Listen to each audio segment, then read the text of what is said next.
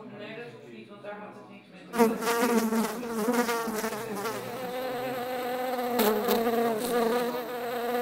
te maken.